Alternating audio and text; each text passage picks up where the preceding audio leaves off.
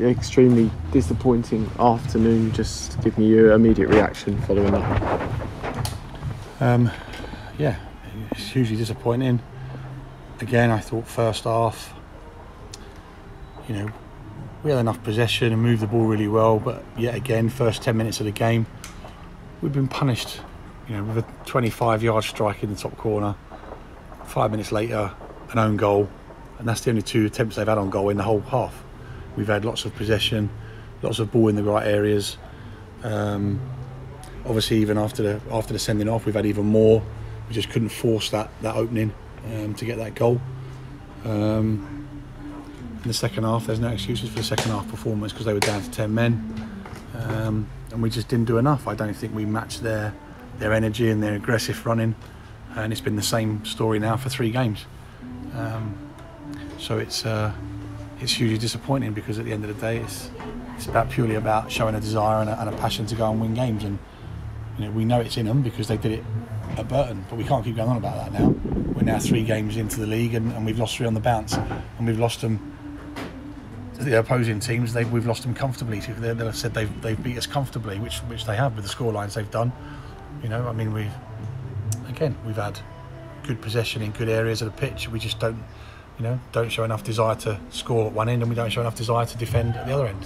It must be extremely infuriating that we've come out in the second half and obviously conceded a further two goals and mm.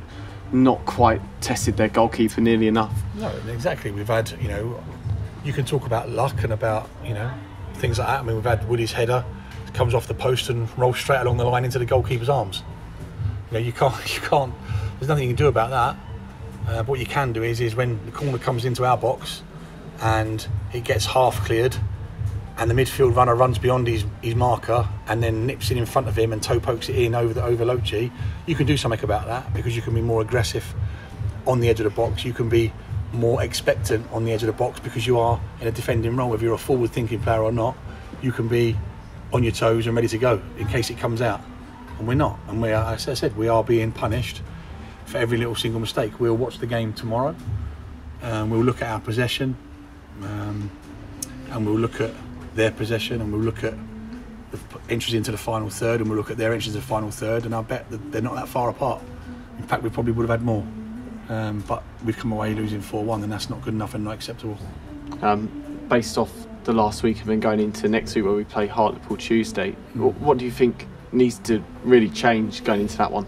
Well, I mean, we we, we need to be more motivated. The, the, players need to, you know, we we try and do everything we can to make sure they're motivated, they're organised, they're they're prepared, they're fit, so they're ready to go.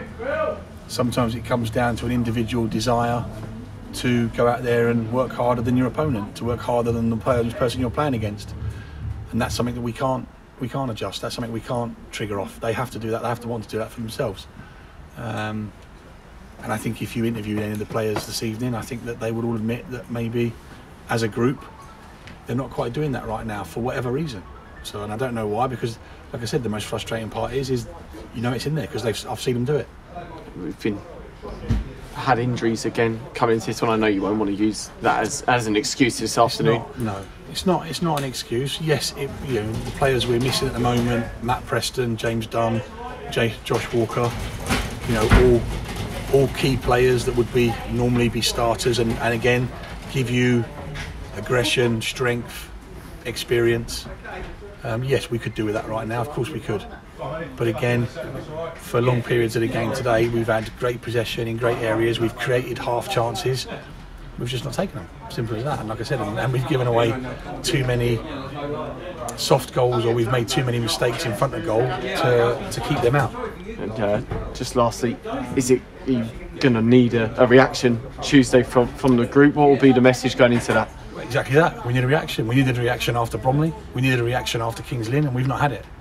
So, like I said, so and again, you know, no excuses as always. But we're uh, we've done everything we can regarding making sure we're set up and we're ready. Um, just sometimes, you know, it's when they cross that white line, you you don't have any control over what what sometimes they give you and like I said, then it's been hugely disappointing. You know, I've always been one that that tries to protect the players, but there has to be some sort of responsibility along the line somewhere because again, The supporters will know it because they've seen them do it. Dagenham and Redbridge away, Weymouth at home, Leicester away with low numbers, Wrexham away, clean sheet. You know, so it's so we know we've got it Burton at home. So we've got it in within us. Sometimes you have to draw very deep down in, inside your soul and, and drag a performance out, and we need to do that on Tuesday.